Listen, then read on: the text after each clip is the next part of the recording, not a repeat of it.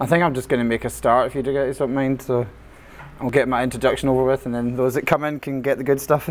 Um, so I'm going to talk about Unity in the classroom for creating virtual reality simulations and for educational games. Um, so this is me. Uh, right now, an upper school computer science teacher at a private school in Charleston, South Carolina. But as you can maybe tell from the accent, and I'll try and go slow, that's not where I'm from.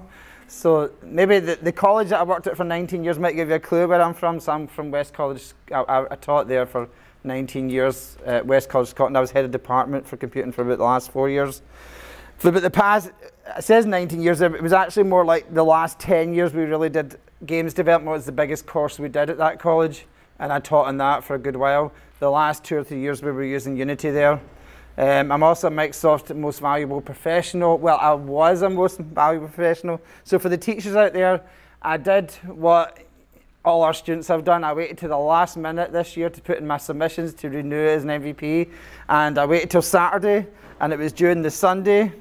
And because I'd moved from the UK to the US, something had messed up with my account and I couldn't put my submissions in. And Microsoft, I contacted Microsoft and they didn't fix it till the Monday. And at that point, it was too late. And evidently, they take the submission deadlines really serious. So um, I have to resubmit in a few months to get back in the program. Hopefully, they'll let me back in because I'm wearing the t shirt still that they gave me. So if I get I don't know if I get in trouble for wearing it, even though I'm not officially an MVP anymore. I am still a, Microsoft Innovative Educator Expert, though. I, I got that one in time. Um, that's my Twitter if you want to get in touch afterwards, drenton72. Okay, um, I became an MVP with Microsoft and started working with them because of some educational games I wrote. Once I started teaching games development, I decided to start making some educational games as well. I like that picture just because those girls are doing French numbers and it shows how games can engage kids in education because you don't usually see kids that engaged in learning about French numbers. Um, and that was some more kids playing those games.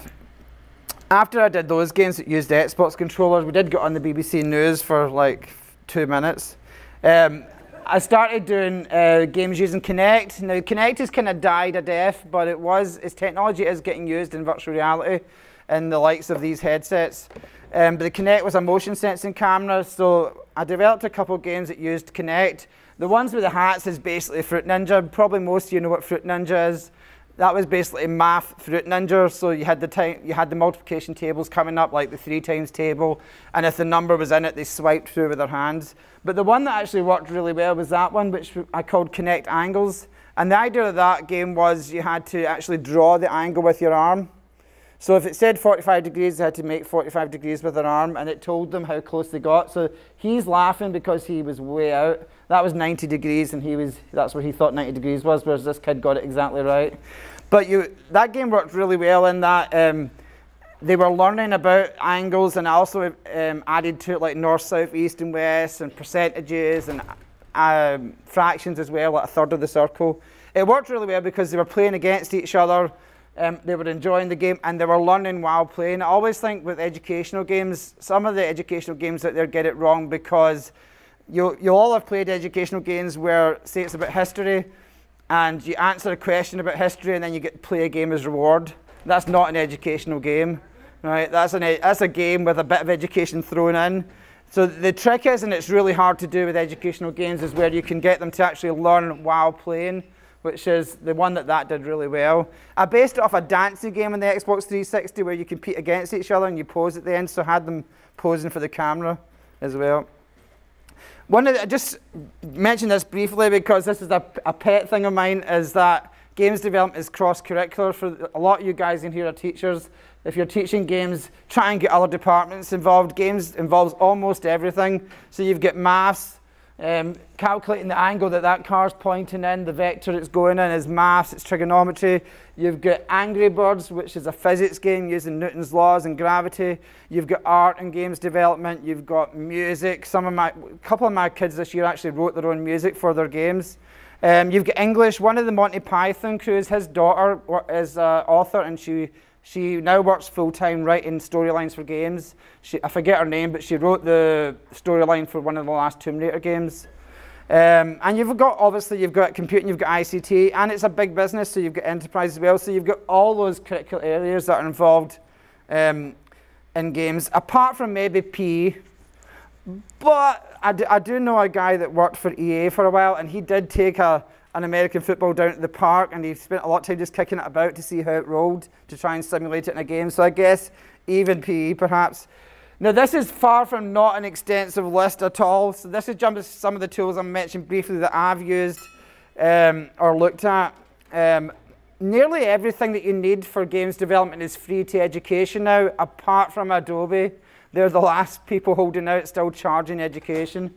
Um, but there is alternatives. So you've got, for 2D animation is one that a lot of people don't do.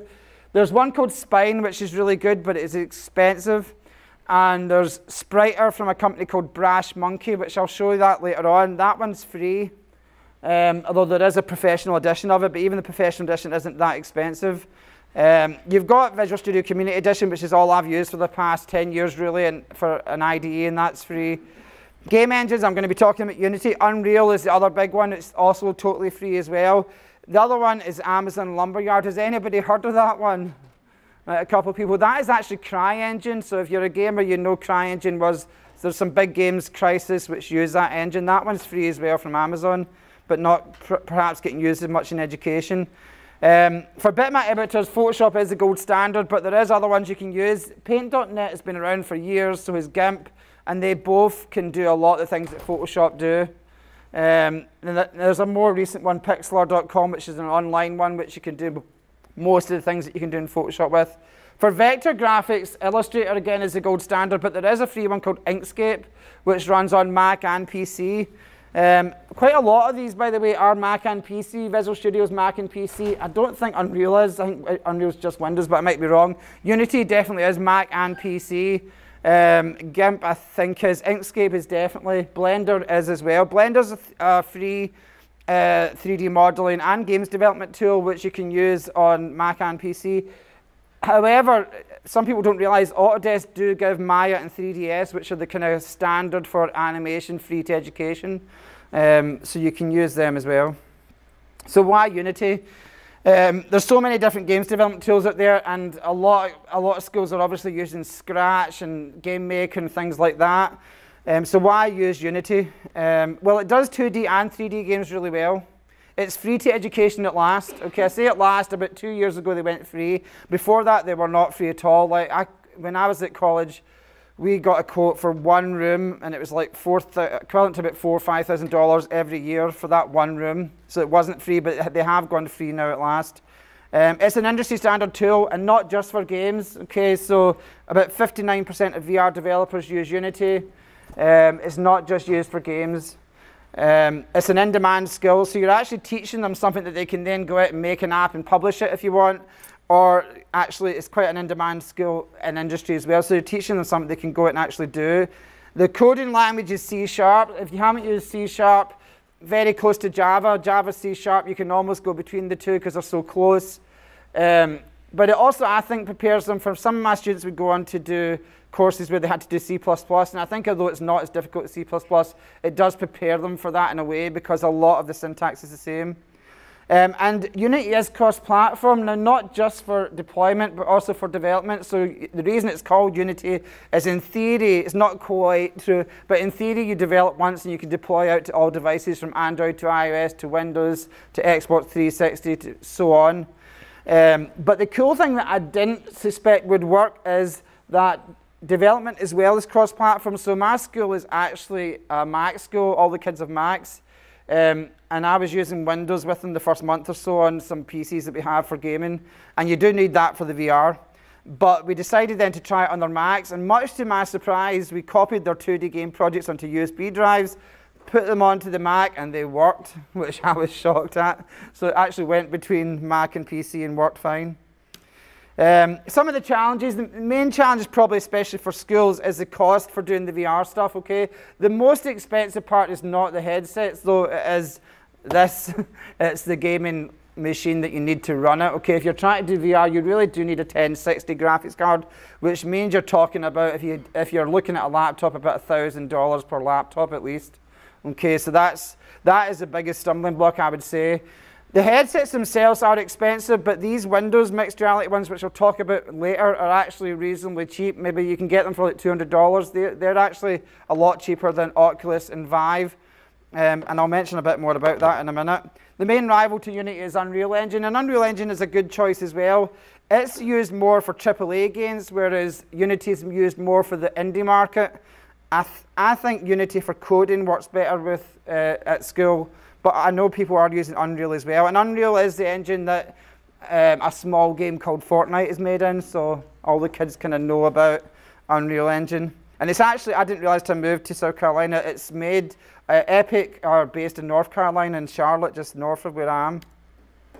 So why do I start with 2D games? I usually start with 2D games just because it's slightly more accessible to the students.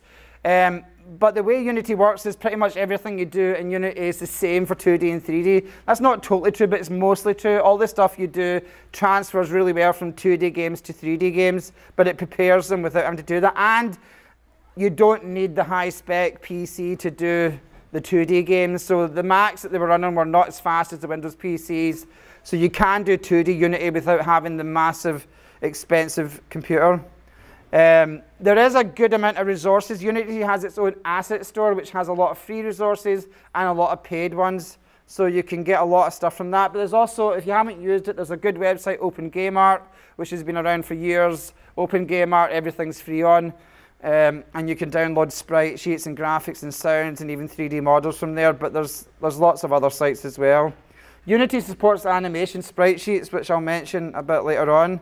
When I'm starting with 2D, I get my students to come up with a proposal. So we're trying to get them to do educational games, but in a kind of wider sense. And it's not just strictly education. It's like, it could be instructing somebody how to drive a car, or so it's a kind of wider education. But I get them to come up with a proposal where they talk about the genre, who the target audience is, what the game mechanics are going to be, if there's a storyline, and all those kind of things. And I get them to propose that to me before they get to start on their games. These are a couple of games that my, these were 10th grade uh, upper school students did this year. So the one on the left was um, Chinese number, Chinese words. So there was a word in English and you had to fly the dragon and get the correct symbol that matched. On the right was a driving one. So you had to, it was teaching about things like staying in the correct lane and you had to stop fully at the stop sign, which I've learned since moving to the States you guys take really serious. So uh, we have the same thing in the UK, but we don't really take it that serious. We tend to do a rolling. We don't really come to a full stop. However, I do. I also, the, I will say on our side that in the UK we have a thing called a safe braking distance, which you guys just don't seem to have at all. so um, that that game there was a girl made a game, a spelling bee game, kind of hangman style, which was quite cool. This one was really interesting on the left. The girl made that game. I found out later her mum is an alcoholic. So she made that game about her family. And in the game, there's a whole bunch of wine bottles hidden about the house and behind the couch and all over the place. And you have to get the wine and then you have to try and do your housework while drunk, basically. So it's a really interesting game. It kind of spoke to where she was at, and it was a good, um, it was a good expression for her creativity and where she was at and the struggle she was going through. Um, and I, I, should have shown you, but she made that character herself. She drew that, and it is actually animated and it walks and everything as well. That was a game about Spanish, and you had to get the right, you had to catch the basic, catch the object that matched the Spanish word. Um, I'm going to show you just a couple running from Unity. So this was one that one of my guys did, and it was a bit like, I don't know if you remember Inner Space or Incredible Journey, but that kind of idea. So you're inside the blood cell. So that's the Unity environment, and I'm running it, and you had to guide the red blood cell, and you had to find viruses and destroy them. Um, hopefully we'll find a virus soon. There's usually one down here.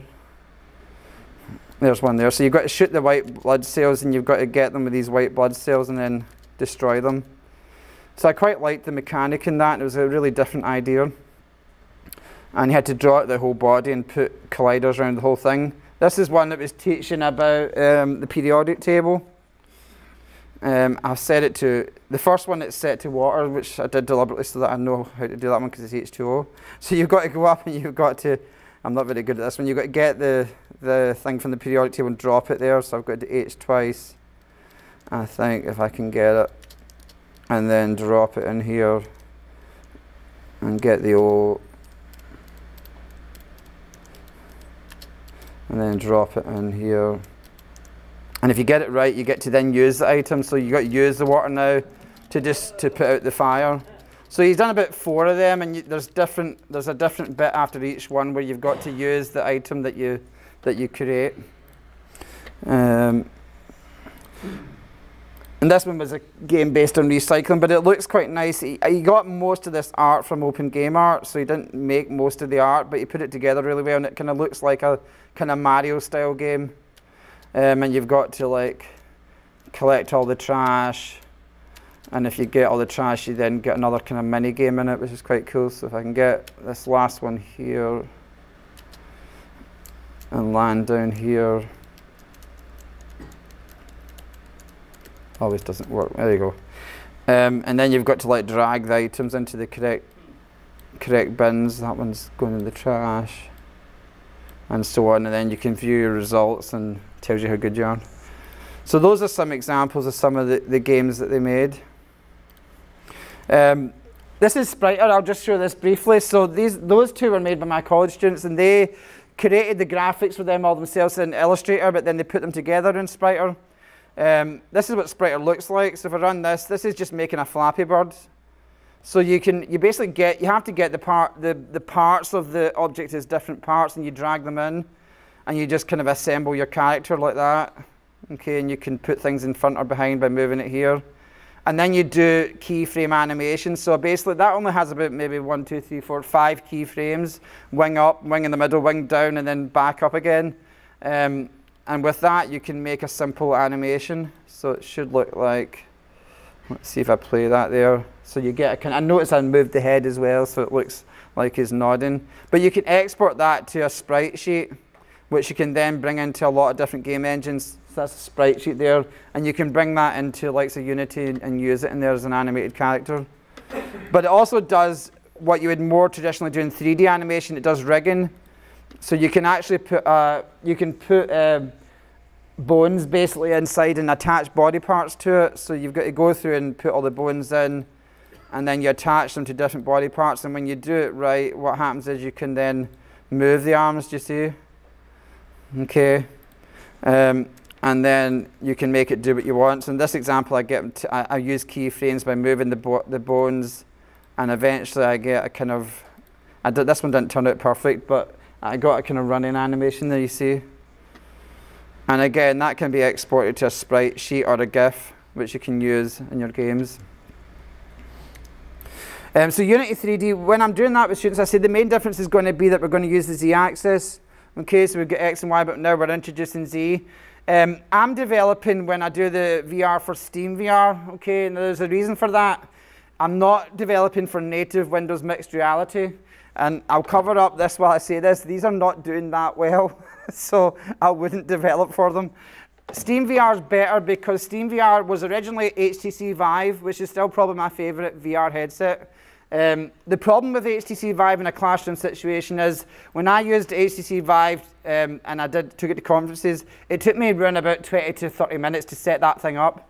Okay, you have two motion sensors, which I was using in photography stand. You're meant to actually screw them into the wall. It takes a long time to set up. It's not realistic in a classroom situation if you're putting them up and down each day to have, if you've got 15 students and you're trying to put up 15 HTC Vives, it just wouldn't work. They also use room scale, which means you can walk about, so you need floor space. So each student needs about, uh, I was going to say meters there, but say about nine square feet, okay, um, of floor space. Um, and they're expensive. Um, but they are probably the best. And then Oculus Rift is a similar thing, very close Steam VR now supports both Oculus and HTC Vive and Windows Mixed Reality.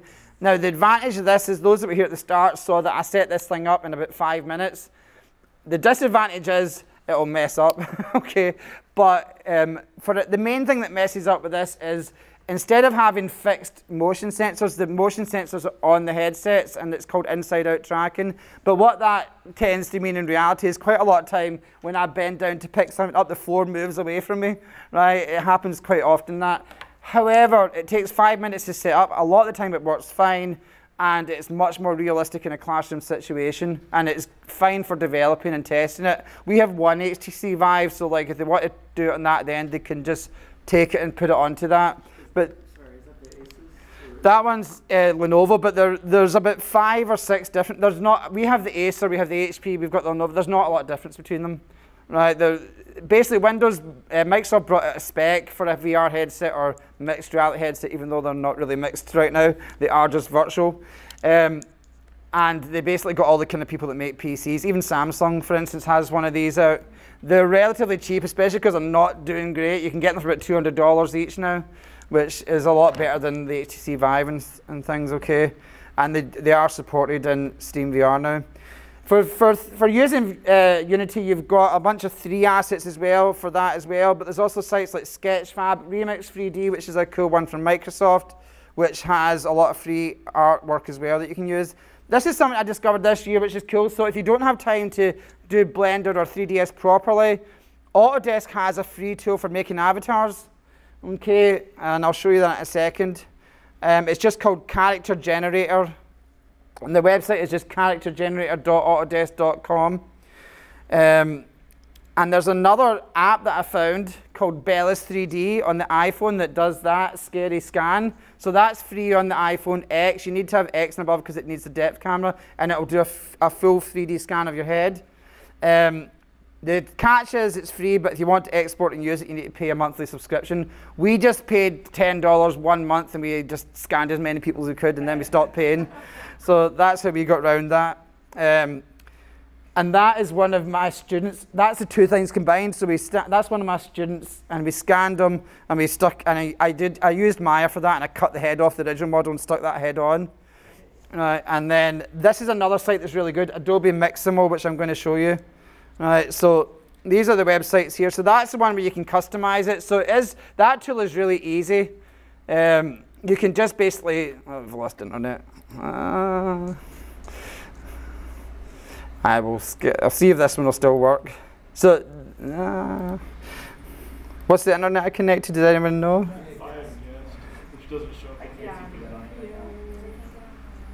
Uh, I'll come back. Th that site is, you can kind of see the animations there. If I, what should happen is if I click on them, he will actually do that animation. Okay, so it's really cool because you can, in the character generator site, you can create the character, you can choose hair, you can choose the body, you can do all that stuff. You can make a character. It's kind of free. If you do too many exports, it starts to ask you to charge you. So you can do so many free. Um, and then you can export it and import it into this. And it's very easy to rig it in there. You just like select the ankles and the knees and the groin and things like that, and then it just animates it for you. And it fully rigs it, which is actually really hard to do in 3ds and Maya. Um, and then you can literally make it do any of those animations in there, okay, including walking and running and jumping and all the kind of things you'd like to do in a game. Um, I'll show you actually, I've got a demo that has that in it. So, let me see. So yeah, let me just show you a, a, game that has that in it. So this was a game one of my girls created. Let's see if it will run.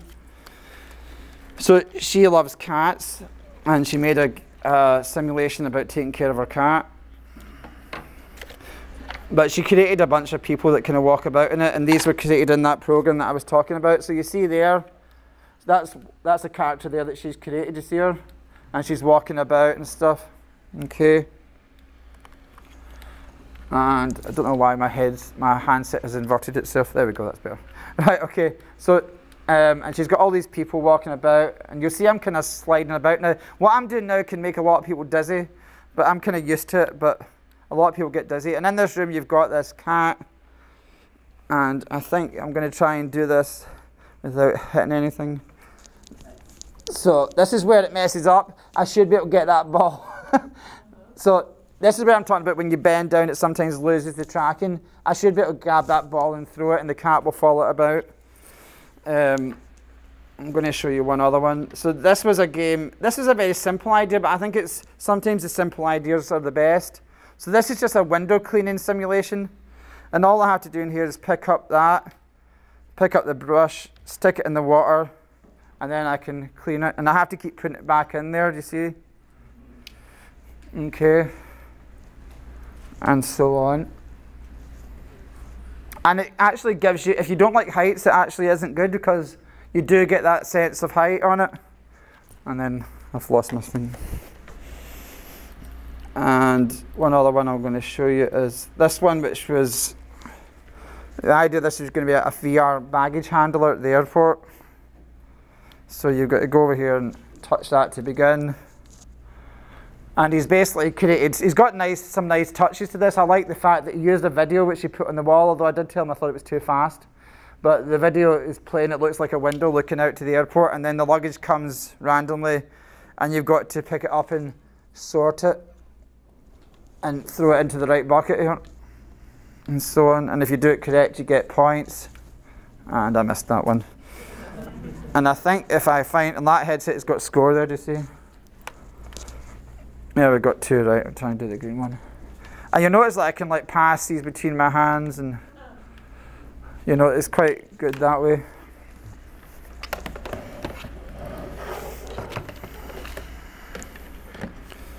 And I say a lot of the artwork he did there, he created himself, because um, you can see the kind of simplistic models, and he was able to do that himself, which was quite good. So he did No, no, we were we did about we only did about a week of it, but we did about a week and a half of Maya, just very basic modeling in it, and just to so they could have so some of them that were good at that could could do that. Um, these are some of the my senior students did a whole bunch of projects, and they had been doing three years of CS and they'd already done a lot of C sharp, so they were a bit more advanced. So this guy made one. Let's see if I can get sound on this. This guy did one where um, he was basically a VR conductor. We get a wee bit of sound. practicing conducting an orchestra. And then this girl did, this girl created a VR so solar system and she actually worked with the physics teacher in the school to get the calculations for making the planets move around. And as she says, you can Matt Damon your way around the universe um, and learn about the universe. And that was quite good. And we're trying to get. This guy did one about nutrition. And it was about training like for you know working out seriously, which is why there's so many high calorie foods. I think. Um, and this girl created one. You can see her up there working it, where you had to train to be a surgeon on a suture pad. I think it's called. For those that know about medicine, might know what that is. Um, this was a hurricane simulator, so you had to like board up your house. And he actually found some assets in the asset store that did simulate wind and rain and all that, so it was quite it looked quite good. This was a, basically a farming simulator where you had to drive a tractor. That was a kind of drawing simulation. This one was one I thought was funny, but actually was quite good. It was a VR librarian.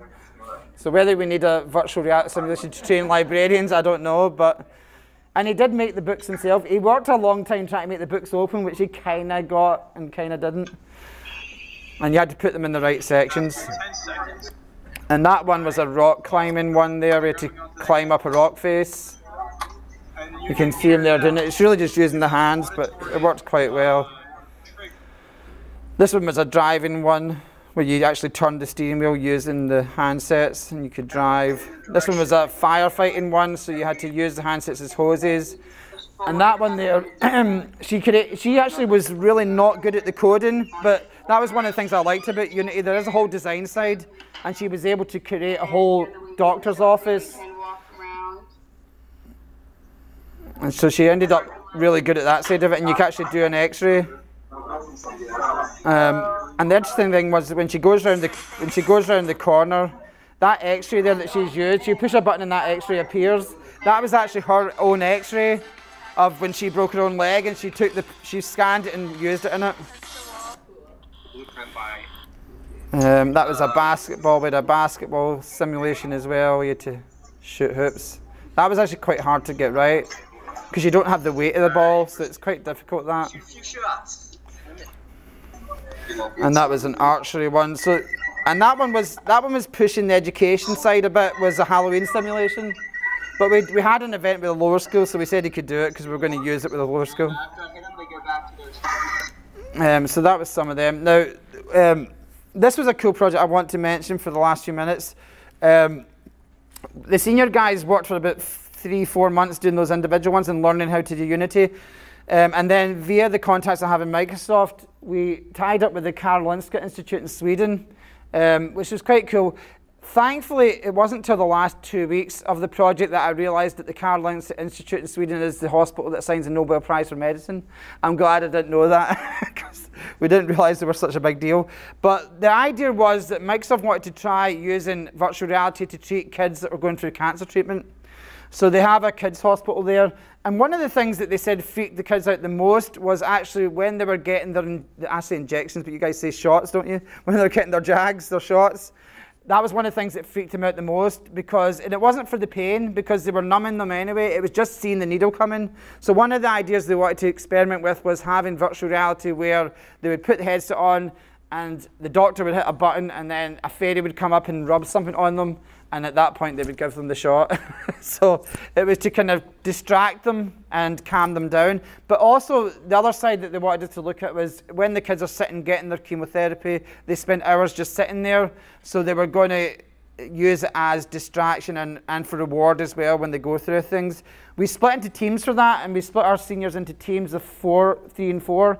We had six teams and they created six different projects. We had a, a kind of dinosaur Jurassic Park style one. We had two underwater adventures. We had a virtual I Spy in space, and we had a kind of kids room with robots. That was quite cool. I don't think you can hear this, but that was a report that the local news did on it. I don't think the sound is the sound. Students here in Charleston are helping yeah. thousands well, maybe. Of children, uh, I'll skip on to the actual bit. So that's our classroom there. You can see our headsets. So we have them all numbered. Um,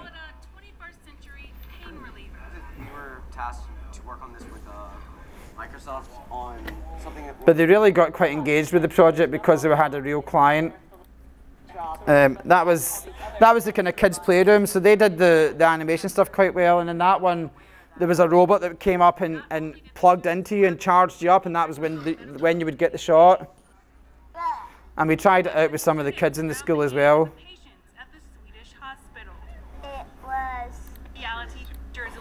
That was the underwater tour. That was me Skyping in because I wasn't there that week. Um, so we did, that was a cool project. We got to Skype in with Microsoft and with the doctors in the hospital, which is quite cool. Um, the guy on the left is the guy that I know in Microsoft, but those two guys were from the HoloLens team. That's Mike and Pete from the HoloLens team, and they talked to them about their ideas and helped them. Um, these are some of the proposals they came up with. So this was the team that wanted to do the dinosaur thing. So they were wanting to create a dinosaur park to uh, distract them. This team wanted to do an underwater adventure. So they came up with these ideas about how they would do it and different inspirations for it. They, would, they were going to have puzzles in it, which is why they mentioned Tetris. Um, and this last team, they were going to do the kind of kids' playroom. So they drew out this art, and it actually ended up looking quite like that. And they made, they actually did model that character themselves in Maya. Um, I think the advantages of doing these kind of group projects, especially in games development, is well, one, it's that's the way it's, it's done in industry. It is teams, it's not individuals. It's very rare that an individual will create a game, although it does occasionally happen. But it teaches a bunch of soft skills. So you've got things like teamwork, problem solving, communication, leadership, time management. Um, we got them to assign each other roles. So they decided that. I gave them some ideas, but we had, you know, lead artist, lead designer, lead coder, that kind of thing. Um, and they had real deadlines to meet and they had a real client to get things to so that was really cool. Um, it allowed them to play to their strengths, so there was like the girl that did the doctor's office, she concentrated on the artwork for her game, um, whereas some of the other kids that were good at coding concentrated on that. We even added in, which was a bit controversial, we had a peer review, but it did make them accountable to each other. So 10% of the grade that they got at the end of the year was given to each other by their teammates. And they had to sit together and they had to decide that. Um, and mostly that went fine, and we didn't really have a big issue with it. Um, realistic, it's a realistic experience and environment for them, and it's good for putting on the college application. Okay, so um, here's the. So this was this was the underwater adventure one where you had to collect keys. So you had to collect the keys and you had to find a portal to open up. So you had to grab the key and then you had to go over to these portals over here, which I'll skip to and transport. And then they did quite a lot of work on that one. That one ended up really quite cool. And this was the other underwater one, which this one was just sit back and you. They made a submarine, which they made themselves. They didn't make the whales; they got them from the asset store, but they created a tour, and that's one of my students doing a voiceover. And basically you just sit back, so the kid could sit back, they could sit in the chair, they could stand, and there's a pirate in it as well. Beloved ship was called the Queen Anne's Revenge. So it was funny though because some of the stuff in the in the voiceover is true, and some of it is just stuff he made up. so like stuff about the pirate was a lot of rubbish, but um, but he had some true facts about the about the whales and the fish and stuff. So what I'm going to do now is just quickly show you a demonstration of Unity and 3D how to create something. So I'm going to delete that. So this is one a, a basic world I've created. Right, so in this, and you can try this at the end if you want. So this is one, I've got a table, I've got bananas and donuts, and I can throw them at that target. I knew I was going to miss when I did this. I'm trying to hit that target. There we go. Okay, that's, for those that know Doug Burgman, I know a few people here do, that's him saying sweet. So we can throw that at that, and if I hit it, it'll, it'll say sweet. And you can see you can pass it between the handsets and do that. You can also, I've said it so that it can shoot things out the handset as well, so I can shoot multiple bananas and donuts. And that makes it easier for me to hit the target there. Sweet. And you see I've got score and health there on the handsets. But to show you how to add something in quickly, so I'm going to add in this scary head scan of me because it's funny. so there's that head that I scanned in Embellis. Now I've already, I've cheated a bit because I've already added to this a rigid body. So in Unity you've got rigid bodies which give physics. So when you add a rigid body you've got things you can set like drag and mass and gravity. Um, and then I've added a collider on it already as well. You can see if I turn the collider off, the collider goes around the head to make it collide with things. So those are the two kind of things that you need to add to make it work with physics. So I'm going to, dra I've dragged that in and if I run it again, what we should see now is that scary model of my head. Can you see that there? Yeah. Now the Bellus thing, it does it, it does a really good scan, you see, but it doesn't do the back of the head. so, so that's a bit strange. There we go. Okay, so you can easily add things in to pick them up. Um, but the other thing is the code is reasonably straightforward as well. So this is some of the code. This is the code that's on that target. So I've got two audio sources and you make them public and I'll show you why in a second. Um, I could make a score one on it, but I've done the score on the handset, so I'm not used that, but I could make the score public. I'll do that just to show what happens. Um, and then you've got two events. We've got on trigger and on collision. Now the difference is in Unity, when you make a collider, so like if I added in, say, just a basic object like a cube, okay, and I can move that. If I added in a cube, it comes with a box collider, and the box collider is simply a, a, a collider that goes around it, you see, and you can adjust it, okay? Um, now, when you collide with that, it fires on collision event, but if you set it to is trigger, it then becomes a trigger, which means you can throw things through it, you can put your hand through it, and so on. Um, and you would maybe use that for things like, for instance, say you're doing a game with helicopter landing on a, a pad, you would make it a trigger so that it lands on it and it can go into it, but it triggers an event. So in here I've got two different ones. I've got on trigger and on collision. And I've basically set the center of the target to be a trigger and the outside to be a collision. So when anything hits that at all, it passes to me in the other property the name of it. So you can either use tag or name. And the difference in Unity between tag and name is that everything has to have a unique name. So this was donut, that's donut 1, donut 2, donut 3. However, I've tagged them all as donut, okay? Which means in the code you can say if the thing is tagged as donut, then do this. Otherwise, you'd have to write if name equals donut 1 or donut 2 or donut, and it would just get silly. So the tags are really useful. So I can say that if anything, what I've said there is if anything other than the handsets hits the, hits the target, play a sound, destroy that object so you notice it disappeared when it hit it, and give score onto the, the handset. Okay. Now this bit of code here is, I'm going to put this in. What that does is, when it hits the object and it's not a, it's not a trigger, um, I'm going to get the rigid body. The rigid body is the physics part. And if it is the head, which I've tagged myself as the head, I'm going to do two things. Um, we, I, am putting these in because we discovered these recently and it's quite good. You can set it to static and you can freeze it. And what that basically does, if I save that, and I'm going to add that script to the wall. What it should do is, let's try and see. So I'm going to click on that and I'm going to add component, go down to scripts and add on that script if it comes up. Let's try again, add component, scripts and collide. Okay, and I'm not going to bother with sound. So I'm going to play that now and what, we'll see if this works. So what should happen is if I grab the head and throw it off the wall, it sticks.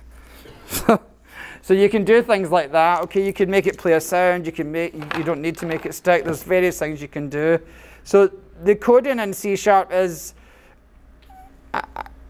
It's not easy, but it's not you know super hard either. It's something they can get their head around. The idea of public and private is obviously something we normally discourage in programming. But what happens when you set things to public in Unity? It means that if I click on that wall, that's, that property called score that was an integer that I set now appears in here. So I can now go in and I can set that to 50. So some of the guys um, did a project where they had to make um, three targets and throw things at them.